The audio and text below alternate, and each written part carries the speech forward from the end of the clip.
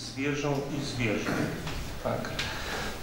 Konkurs organizował Wydział Promocji i Rozwoju Gminy we współpracy ze Starostwem Powiatowym, Biblioteką Publiczną, Domem Kultury i Muzeum Regionalnym. Bardzo proszę, proszę Pana Burmistrza, laureatów, Pana Piotra Zajączkowskiego, Pana Pauliny Mazurkiewicz, Pana Pawła Gałuszkę, Pana, Macieja Halickiego, a także Pana Witolda Szymańskiego. Proszę o to jeszcze Pana Burmistrza, proszę o wygłoszenie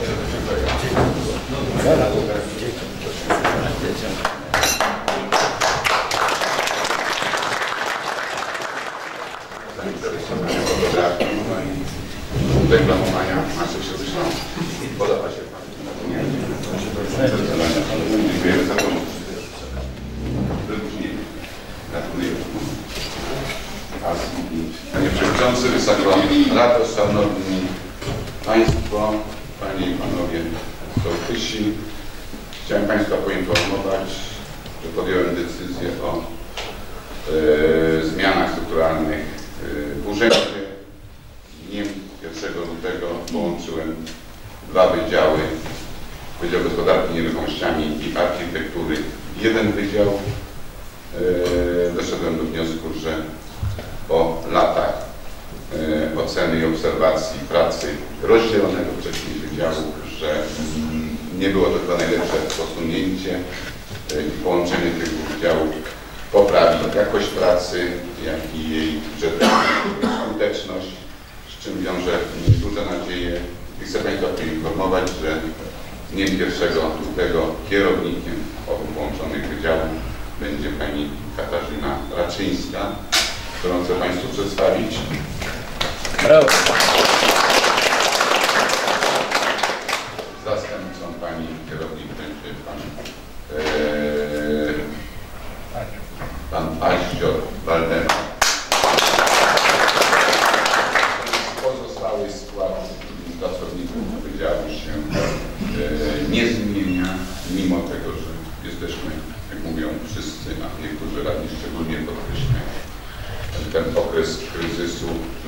Nie będzie zwolnił yy, pracowników tego mm, wydziału.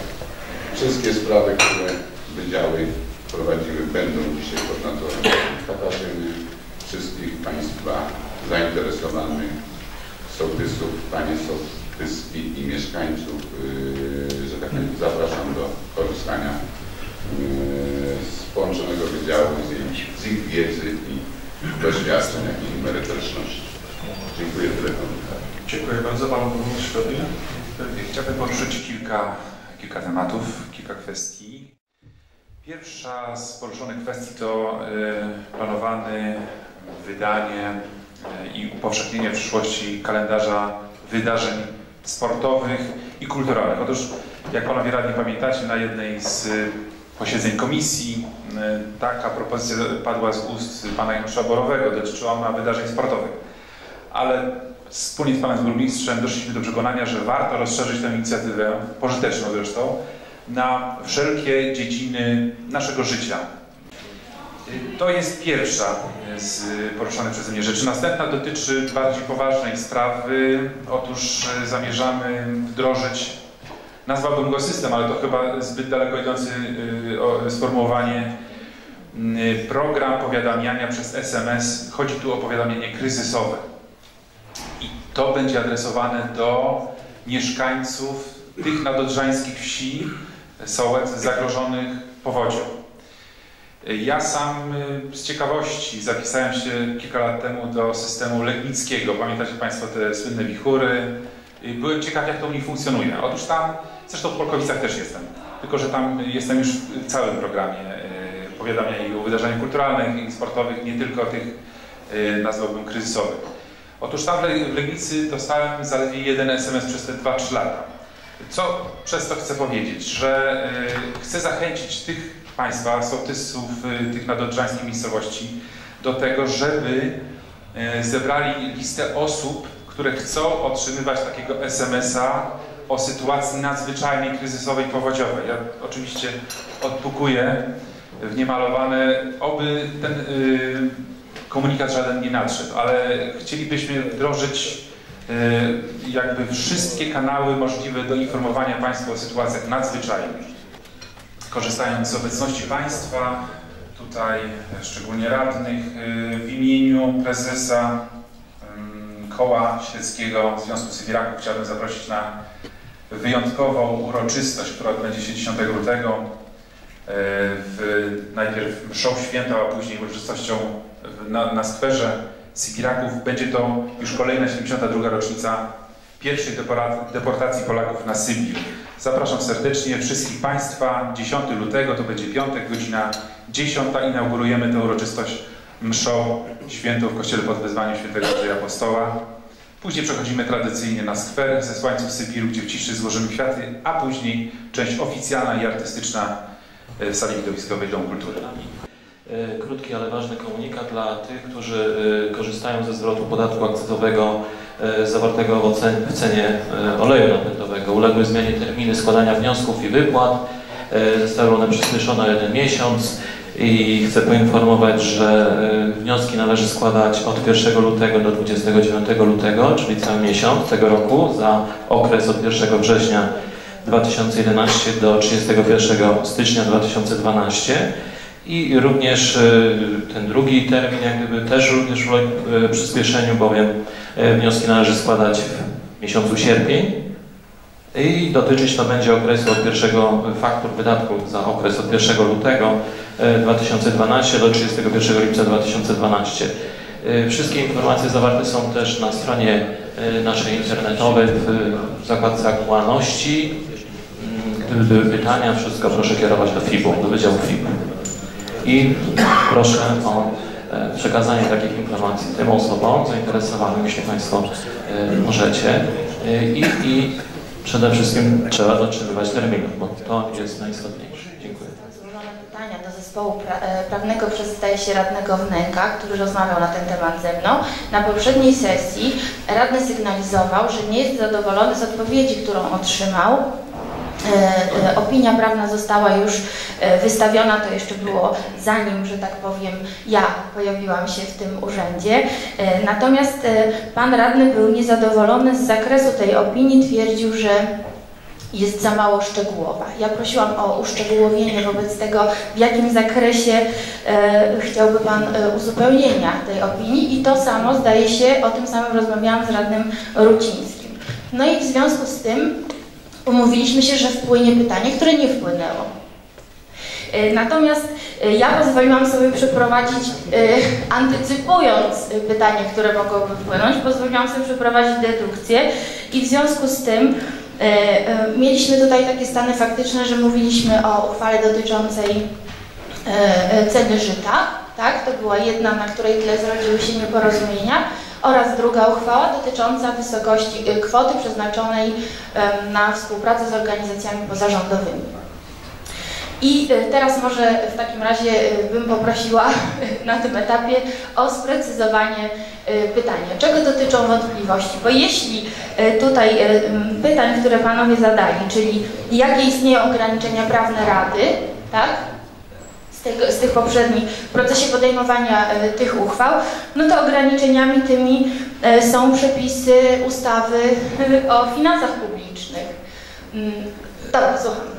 Nie wpłynęło tutaj dodatkowe jakieś tam pytanie, dlatego że nie było takiej potrzeby. W tym pierwszym pytaniu, które zostało zadane, to było wyszczególnione dokładnie to, o co mi chodziło.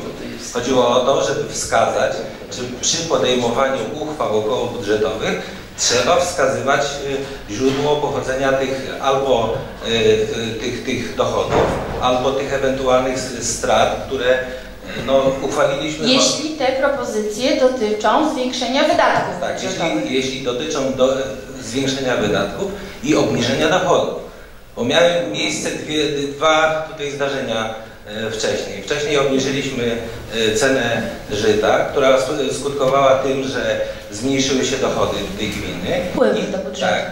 I, I w tym momencie nie musieliśmy akurat e, pytać, e, no, czy wskazywać miejsca, gdzie będą obcięte wydatki. Natomiast w momencie, kiedy e, no, jeden, jedna z komisji, bo tak to wynikało, chciała zwiększyć wydatki, burmistrz powiedział, że należy wskazać miejsce, gdzie y, te wydatki, gdzie źródło pochodzenia tych wydatków i, i żeby nie było w przyszłości no, problemów przy podejmowaniu tych uchwał okołobudżetowych, pytanie brzmiało, jak należy to zrobić, jak to należy zinterpretować, po czyjej stronie leży racja, czy racja leży po stronie burmistrza, który mówi, że należy w takich wypadkach wskazywać to źródło e, ewentualnych e, dochodów lub wskazywać miejsce, gdzie te wydatki tniemy, jeśli obniżamy tutaj e, to dochody, czy, czy takiej potrzeby nie ma, jak tutaj no, mówiła komisja, czy radny Ruciński. Dlatego uważałem, że nie ma potrzeby no, jak gdyby pisania nowego pytania, tylko powtórzenia tego pytania, które już było wcześniej i,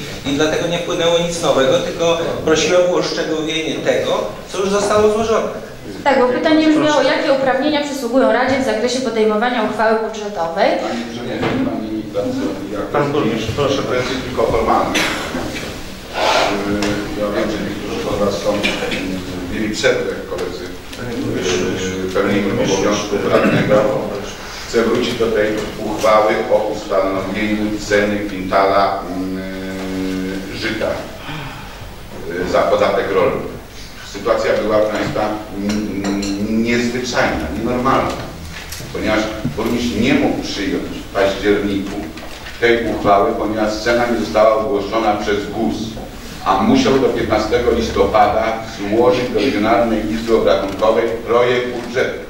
Więc przyjąłem od siebie yy, obniżenie do kwoty 65 zł, 75, uznając, że kwota powinna satysfakcjonować yy, Radę, jak również rolników. Yy, rolnicy zawsze byli uprzywilejowani w Środzie Śląskiej yy, i ta różnica stanowiła około 20% zniżki w stosunku do tego, co mogliśmy uchwalić. Próbowałem z Panami rozmawiać na temat, że tak powiem, ustanowienia górnej granicy i przeznaczenia tych środków, które by były zwiększone od, yy, że tak powiem, przyjmowanych historycznie, żeby przeznaczyć je na yy, ewentualne melioracje, nie ma takiej zgody ze strony państwa.